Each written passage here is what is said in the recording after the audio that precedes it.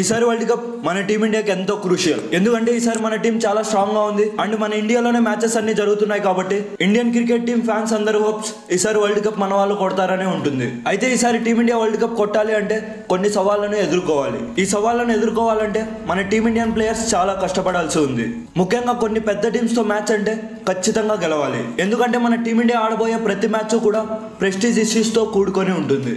ఇక ఈసారి జరగబోయే వరల్డ్ కప్లో మన టీమిండియాకి ఏ టీంతో ప్రెస్టీజియస్ ఇష్యూ ఉంటుంది?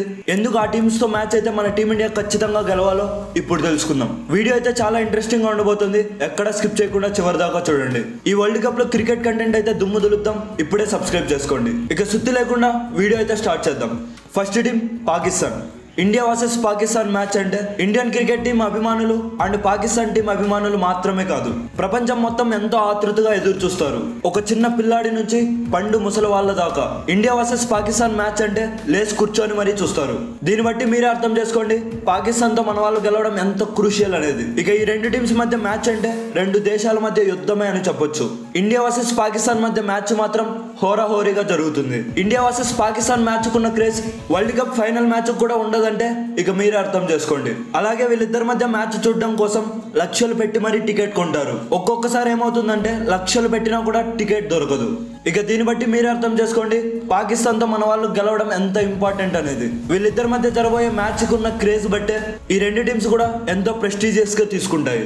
ఇక పాకిస్తాన్ టీం తర్వాత మన టీమిండియా ఏ టీంతో అయినా ఖచ్చితంగా గెలవాలి అంటే అది న్యూజిలాండ్. ఎందుకంటే మన టీమిండియాకి దెబ్బ మీద దెబ్బ కొట్టేది ఒక న్యూజిలాండ్ మాత్రమే. వరల్డ్ కప్ సెమీఫైనల్స్ అండ్ ఫైనల్స్లో మన టీమిండియా దేనికైనా భయపడుతుంది అంటే అది న్యూజిలాండ్ టీంకి మాత్రమే. అది వాళ్ళకి అదృష్టం కలిసి వస్తుందో లేదా మన వాళ్ళ దురదృష్టం ఎక్కువ అవుతుందో తెలియదు కానీ వరల్డ్ కప్ ప్లే ఆఫ్స్ వస్తే మాత్రం మన టీమిండియాకి న్యూజిలాండ్ దెబ్బ వేస్తుంది. ఒక టీమిండియాకే కాదు ఇంకా మిగతా టీమ్స్కు కూడా ఊహించని దెబ్బనైతే ఇస్తుంది న్యూజిలాండ్ టీం ఈసారి ఎలాగైనా మన టీమిండియా న్యూజిలాండ్ టీం ని చిత్తు చేయాలి. అది కూడా సెమీఫైనల్స్లోనే చిత్తు చేయాలి. టూ థౌజండ్ నైన్టీన్ వరల్డ్ కప్లో మన ధోని జడేజా చేసిన కష్టానికి ఫలితం ఈసారైనా తీసుకురావాలి. సెమీఫైనల్స్లో మన టీమిండియా న్యూజిలాండ్ టీం ని కొట్టిందంటే I will be the happiest person. ఏది ఏమైనా సరే ఈసారి మాత్రం న్యూజిలాండ్తో మ్యాచ్ అంటే మన టీమిండియా ప్రెస్టీజియస్గా తీసుకోవాలి.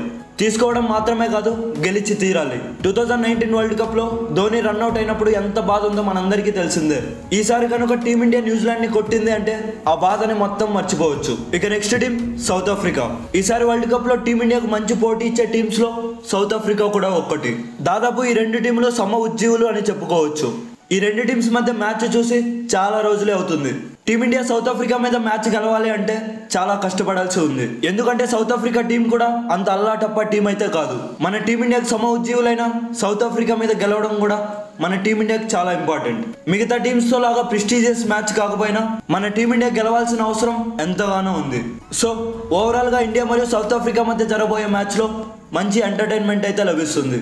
ఇక next team England England versus India మధ్య జరగబోయే మ్యాచ్ అయితే ఈసారి హోరా హోరీగా ఉంటుంది. టాస్ గెలిచిన టీం మాక్సిమం ఫీల్డింగ్ తీసుకునే అవకాశమే ఉంది. ఎందుకంటే రెండు టీంలు చేజింగ్ చేయడంలో దిట్ట.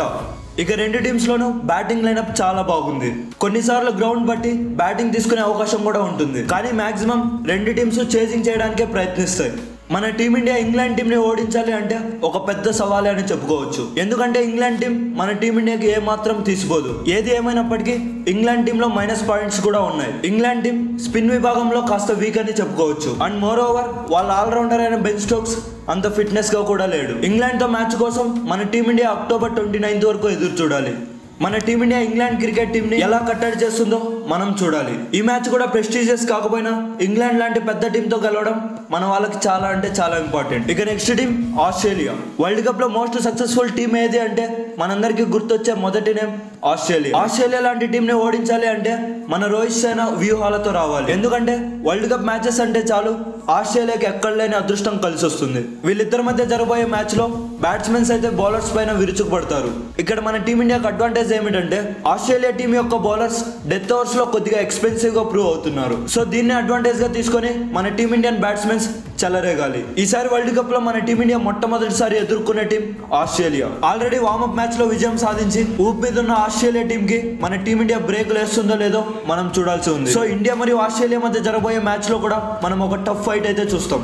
ఇంకా మిగిలిన టీమ్స్తో మ్యాచ్ అంటే మన వాళ్ళు అంత కష్టపడాల్సిన అవసరం లేదని నా ఉద్దేశం. ఎందుకంటే మన టీం చాలా స్ట్రాంగ్గా ఉంది అండ్ ఫామ్లో ఉంది. బంగ్లాదేశ్ ఆఫ్ఘనిస్తాన్ శ్రీలంక నెదర్లాండ్ లాంటి టీమ్స్తో మన టీం ఈజీగా గెలవగలదు. మరి ముఖ్యంగా మన వాళ్ళకి సవాల్ అంటే నేను ఫస్ట్ చెప్పిన ఐదు టీమ్స్ తోనే చూద్దాం మరి ఈసారి వరల్డ్ కప్లో ఏమవుతుందో. మన టీమిండియా అన్ని టీంలను చిత్తు చేసి కప్ ఎగరేసుకుపోవాలని మనస్ఫూర్తిగా కోరు కోరుకుంటున్నాం. ఈసారి సెమీఫైనల్స్కి ఏ ఏ టీమ్స్ వెళ్ళే ఛాన్స్ ఉందో కామెంట్ చేయండి.